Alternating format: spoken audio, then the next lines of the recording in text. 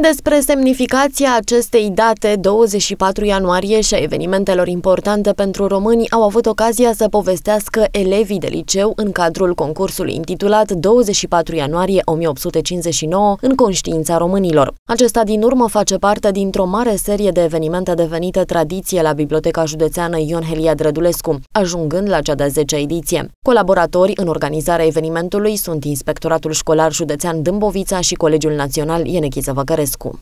Stimați dascăl, profesori de istorie, dragi copii, iată-ne din nou în fața unui concurs de istorie intitulat 24 ianuarie 1859 în conștiința românilor.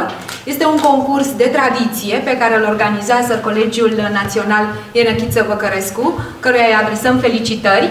La ediția din acest an uh, s-au prezentat șapte echipaje ale liceilor dâmbovițene, le dorim mult succes în această competiție și aș vrea ca fiecare dintre voi, dragi copii, să conștientizeze momentul acesta important în care ne găsim acum, uh, pentru că celebrăm, iată, Ziua Unirii Principatelor Române sub domnia lui Alexandru Ioan Cuza, un moment atât de important în făurirea României Mari.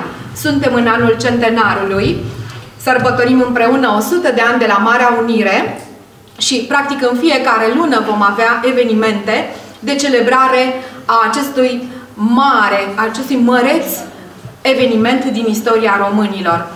Pe lângă premiile în bani primite de primii trei clasați în concurs, cu sprijinul primăriei municipiului Târgoviște, primii patru elevi au primit și cărți. Au participat la concurs șapte echipe de elevi din liceele din județul Dâmbovița.